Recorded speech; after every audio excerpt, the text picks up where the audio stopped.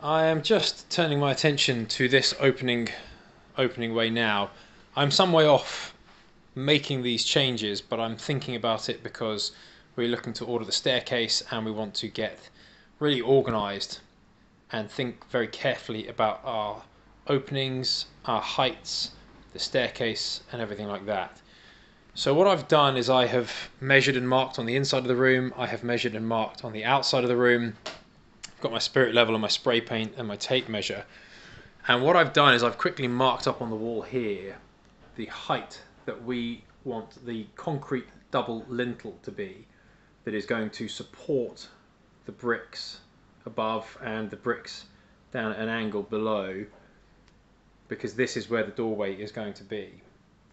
Now I don't know how easy it is for you to see on this, but here we've got just over 100 mil of bearing, which is what the structural engineer has specified.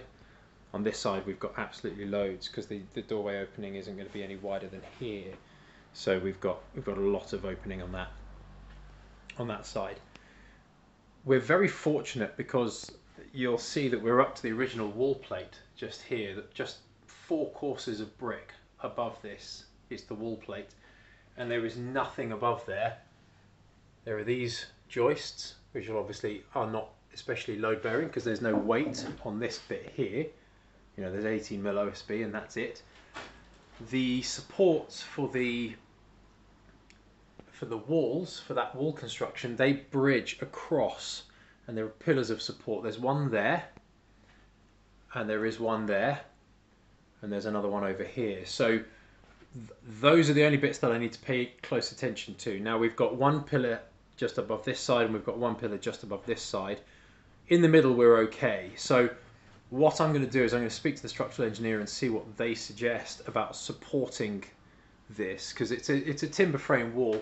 You can see that stud runs there and it kind of comes just to the middle or the edge. It's a bit, bit tricky to see, to see because of parallax but that's one timber stud there. It comes across and then it's kind of bridged across and supported like that between that pillar and that pillar over there. But that's really nice because what it means I can do is I can cut, I can install my double concrete reinforced lintels and then I can close everything back up and we've got a really nice high opening here above the staircase and then up into the room as well. So I'm very, very pleased with how that has come out. I was concerned that it might be significantly lower than this and cause us issues with the staircase and the head height and all the rest of it, but actually that's really good. I'm going to show you the design of the staircase as well that we're going to be going for. That's going to be coming up in a separate video, so check, uh, look out for that. That's going to be coming up later, how to install a staircase. We're going to be buying it from Stairbox. I've installed a staircase from Stairbox before. It wasn't the most successful, I'll be perfectly honest. Um, there was a mistake made when it was ordered. Not, not by us, not by the people that, in, you know, us installing it didn't make a mistake with the measurements because we didn't measure it and order it. So I'm going to be measuring that carefully and installing it and I'll show you that in an upcoming video. This video is going to focus on getting this done, cutting this out, opening this up, framing out the rest of this doorway here and then giving getting this sorted. Good morning everybody, it's the next day for me. It's just carried on in the video for you and overnight I put down some boards here so that's really really secure and sturdy. That's going nowhere. This I appreciate is a bit precarious so I'm going to put a couple of screws in at each end. It's very very solid and sturdy uh, and it blocks the gap as best I can. I still need the ladder uh, and the, the ability to get up and down. So I'm going to sort that. I'm also not really going to be standing directly on here, um, so it's not the end of the world. I've brought up some safety equipment, safety first kids, and I've got goggles on at the minute. So I've got uh, this angle grinder here. All I'm going to do is cut very neatly and cleanly into here, I'm I'm literally just looking to get through the depth of the pebble dash, and what I'm what I'm going to do is I'm going to strike down. I'm basically just going to cut cut out along here where the pebble dash is, pop it off using the hammer drill, SDS drill over there, and then I'm going to be able to get a really good look at exactly what I want for these here so I can then kind of off them up, line them up, figure out the exact width and space and all the rest of it. So I'm just going to sort that now.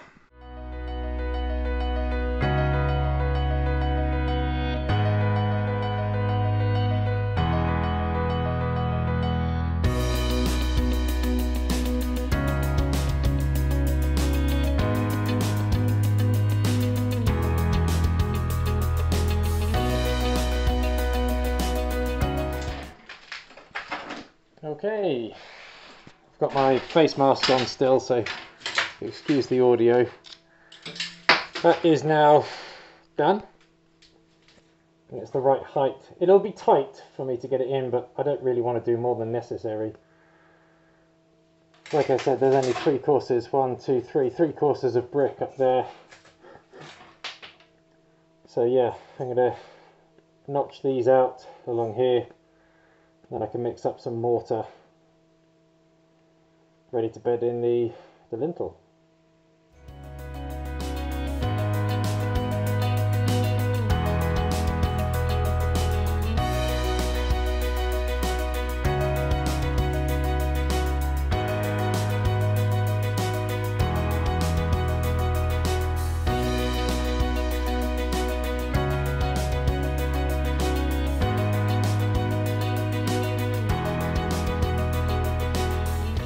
Not going to lie, I have not missed this dust while I've been sat at my desk.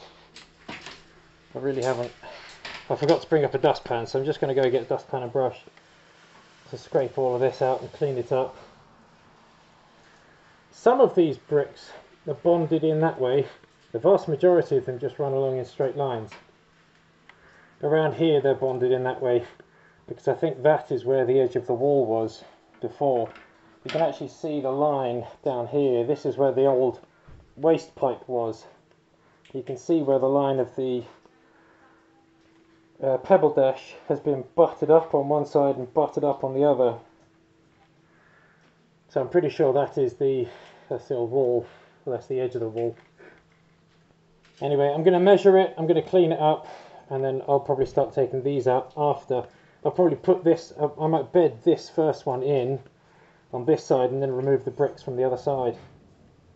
I'll see. I don't, I don't know yet.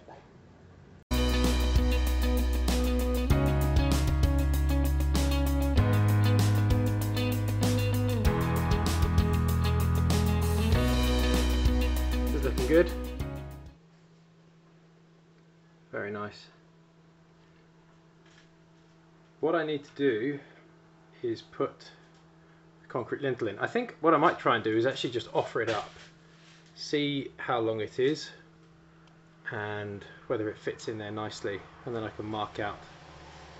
I need at least 100 mil of bearing on each side which actually works out okay based off that there because this that plasterboard wall is going to continue straight through so we've just got 100 mil or so here so it might be that I move it over slightly this way.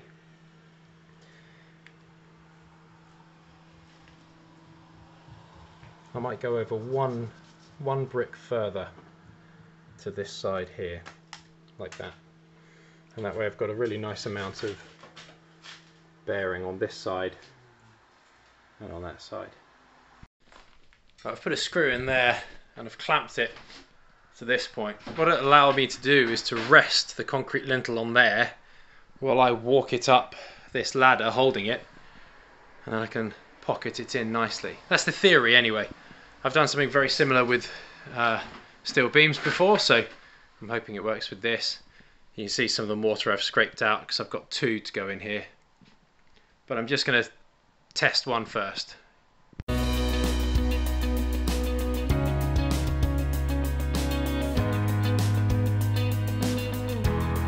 I appreciate that was a very short time lapse for you guys, but it was quite a long process for me and thoroughly exhausting.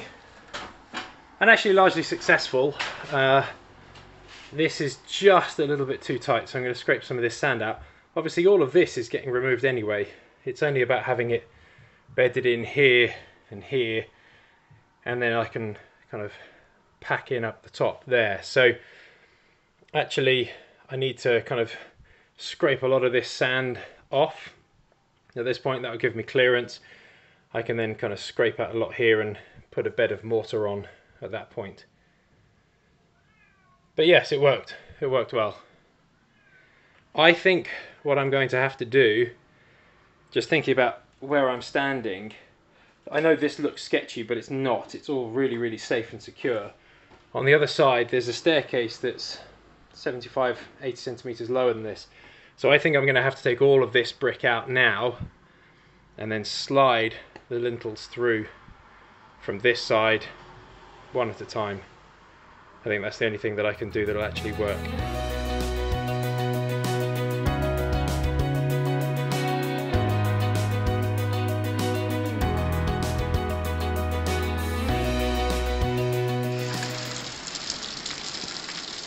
Look that. That was madness. Literally torrents of water. This is all now clean and swept. I've got to the lintel. I think there's a lintel above this here because the the brick has changed now. So that'll be a really very good solid bed to sit this on. I've, I've taken one brick further back. So I've probably got best part of 250 mil, 25 centimeters or so, maybe maybe 20 centimeters here that I can bed the lintel onto on this end and at that end I'll just brick it up for the fact that I've shunted it down a bit. That's fine, works really well.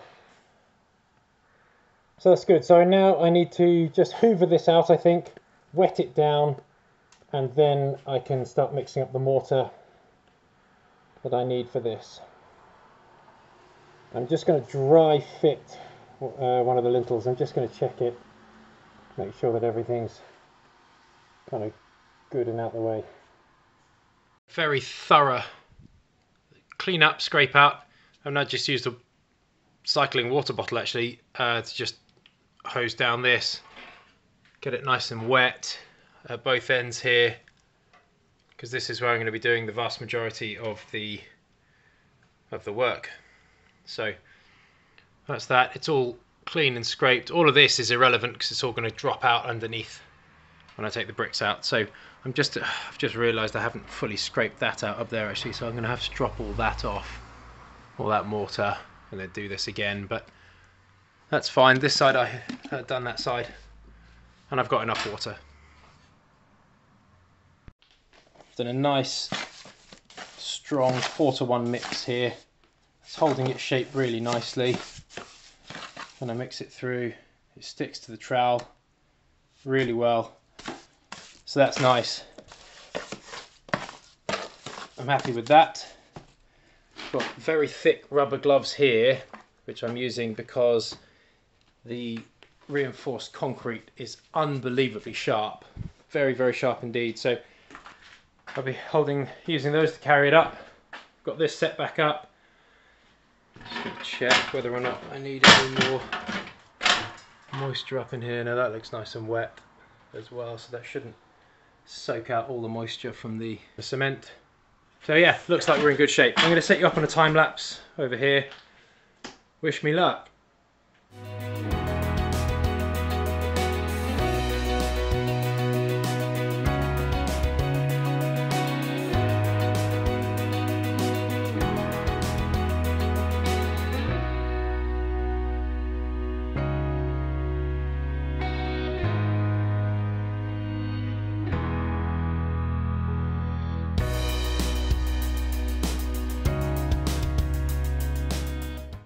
So that is now in, which is really good. It's going to have 20 centimeters, so twice what was spec by the uh, structural engineer.